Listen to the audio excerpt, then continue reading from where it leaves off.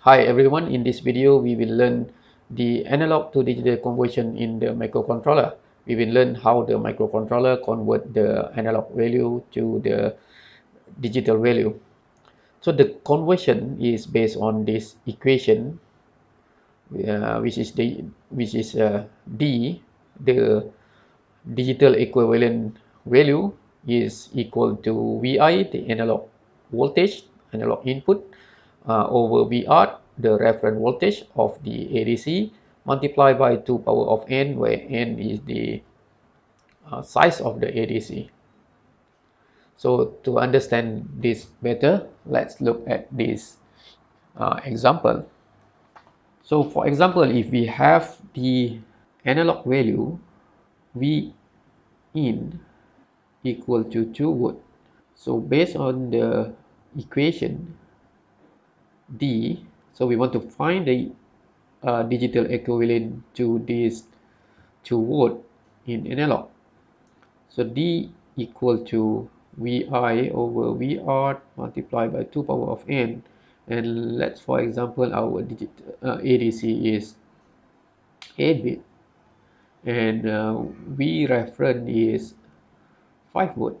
So we will have digital equivalent d equal to vi 2 volt over uh, 5 volt multiplied by 2 power of 8 which is equal to this one is equal to 256 so we will have 102.4 okay so in digital this is uh, approximately equal to 102 and uh, in digital is 0 1 1 0 0 1 1 0 8 bit.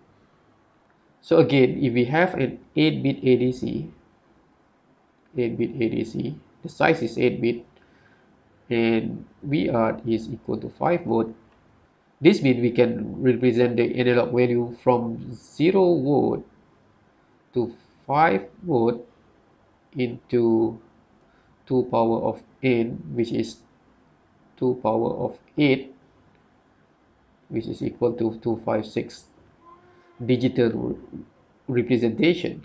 So we can have 0 0 0 0 0 0 0 0 to represent 0 volt until 1 1 1 1 1 1 1 1 to represent 5 volt now what is the value for digital value 1 and digital value 2 and so on until all ones? So 1 will represent what analog value 2 will represent what analog value. So to get this we need to go back to the equation. Where is d equal to vi over vr multiplied by 2 power of n. So now we want to find vi so we need to rearrange this equation. So we will have vi equal to d multiplied by vr over 2 power of n. So in this case our d is 1 so we have 1 multiplied by 5 volt over 2 5 6 so this is 0 0.0195 and approximately 0.02 volt. This means 1 in digital is 0.02 volt. 2 in digital is 0.04 volt. 3 in digital will be 0.06 volt means that the step size of our ADC is 0.02 volt right? Or or each bit equivalent to 0.02 volt. So now if we draw the relation of the analog value to the digital value like this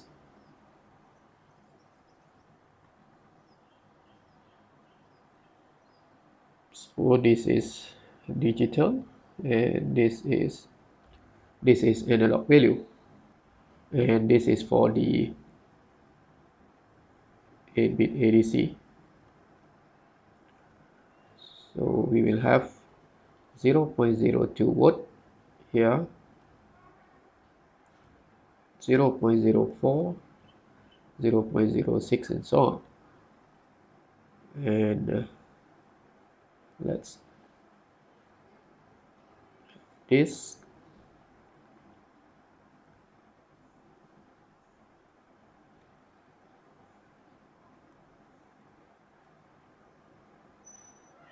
so we have digital 1 digital 2 digital 3 so this is the step size where we have 0.02 watt and between this also 0.02 watt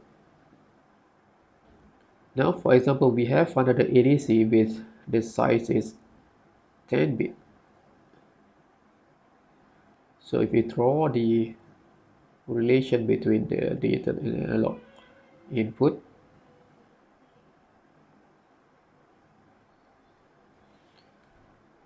so this is the same digital and V so what is the step size now? So the step size will be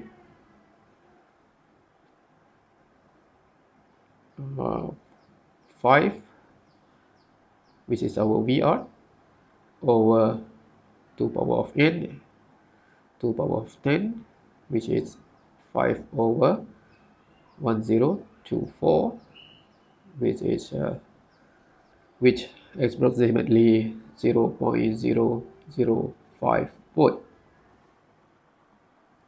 That means our step size now is 0 0.005 here is 0 0.01 and so on.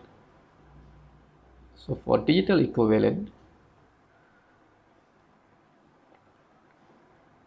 this will be 1 and this will be 2 okay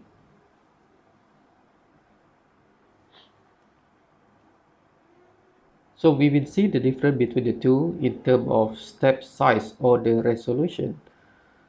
So we can see that the ADC with 10 bit in size will have more digital value to represent the analog value, which means it is better as compared to the smaller ADC. So we can see that the bigger the ADC, the better the uh, result because uh, a bigger ADC can represent more analog value.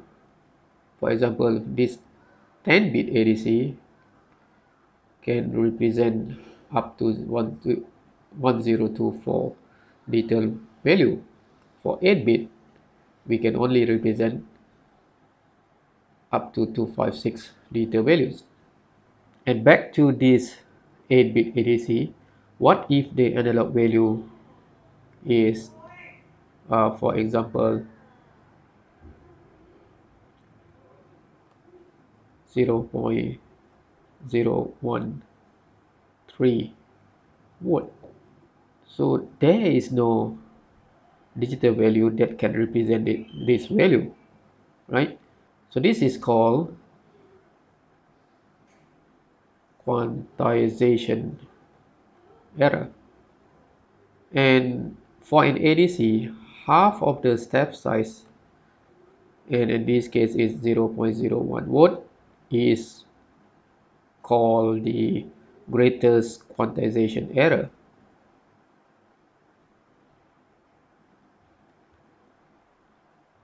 And for the 10-bit ADC, the greatest quantization error is equal to 0.005 divided by 2 which is equal to 0.0025 volt. So we can say that the smaller the greatest quantization error, the better the ADC. Alright, let's go back to the slide. The ADC is 8-bit size and the reference voltage is 3.3 volt, which is equivalent to our microcontroller. Uh, and let's say the analog input is 2 volt by using the equation. So we can have the digital equivalent of 1 5 5 and when we convert to digital so we have this uh, binary value 1001 1011 now if our ADC is 10 bit size by using the same equation so we will have the digital equivalent of 6 to 0 and when we convert to binary we can have 1001 101100 so this is another example where the ADC is 3 bit size. And if 3 bit so uh, the digital values that we can represent uh, the analog value is uh, 8 values from 000 to 1111 and this is the step, step size of this ADC uh, and half of this step size is the greatest quantization error. So for example if VR is equal to 7 volt so digital 1 will represent 1 volt in analog and 1 0 will represent uh, 2 volt in analog and the greatest quantization error will be 0.5 volt. Our microcontroller, the LPC1768, uh, has a built-in uh, ADC and the size is 12 bit, which is quite good.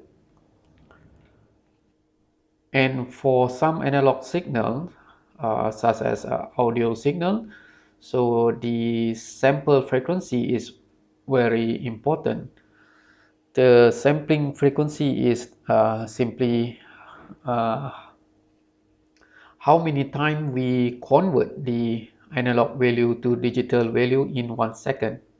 For this kind of signal, we need to make sure that the sampling frequency is uh, sufficient such that the uh, information is preserved. Now to understand the concept better, let's look at this example. So for example, we have the analog signal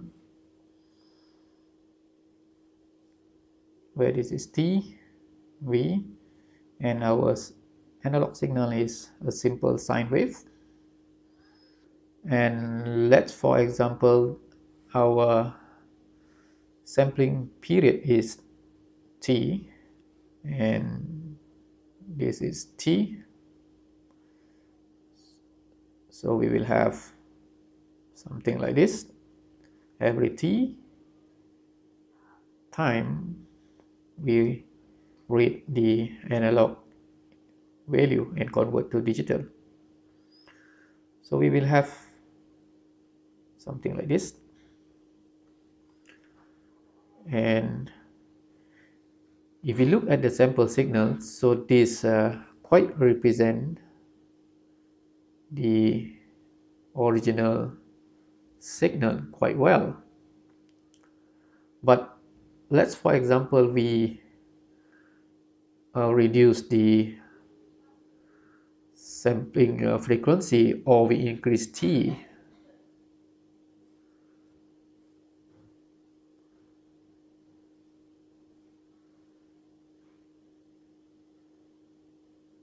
And see what happened so now let's uh, for example our t is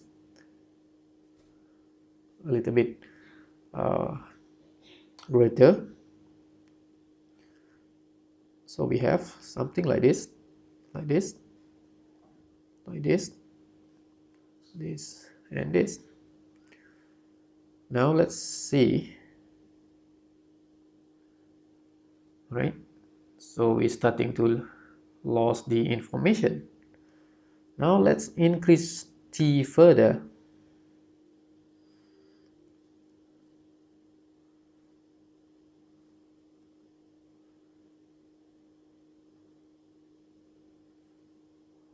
Now t is here for example. So we have there is t and uh, we have t here, we have t here, we have t here.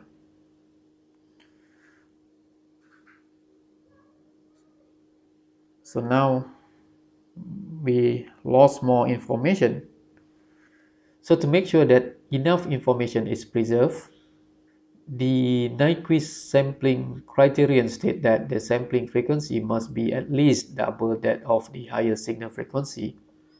For example, the human auditory system is known to extend up to approximately 20, 20 kilohertz. So the standard audio CDs are sampled and playback at 44.1 kilohertz in order to meet the Nyquist sampling criterion. So we can see that this is uh, more than double the original frequency.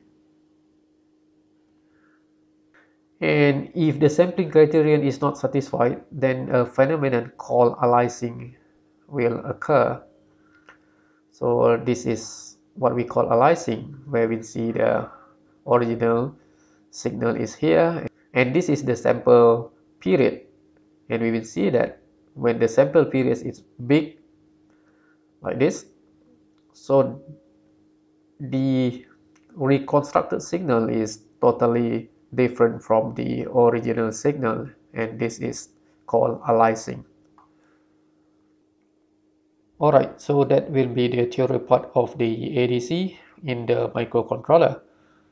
For the example of using uh, analog input in the mbed, for this example, reading the uh, analog uh, temperature and uh, display on the LED. So please refer back to the previous uh, lecture video. All right, thanks for now. Goodbye.